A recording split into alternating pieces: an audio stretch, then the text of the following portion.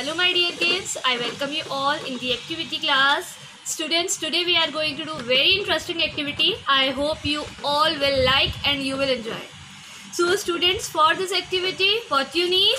You need cutouts of different shapes like circle, square, rectangle and triangle. You need these cutouts and then you need some balls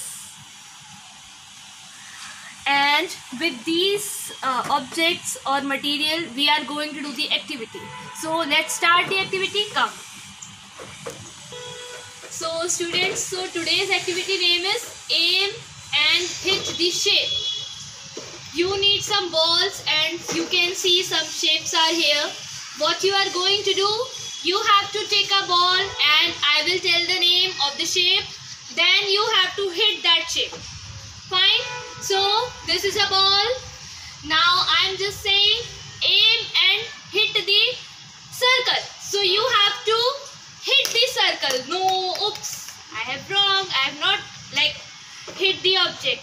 Next i am saying aim and hit the rectangle. Wow! See this this was our game. Aim and hit the rectangle. Next i am taking a ball. Now I am saying hit the square. Where is the square? Is it square? So you will aim and hit. Yes, very nice. Now next, what I am going to say? Aim and hit the triangle.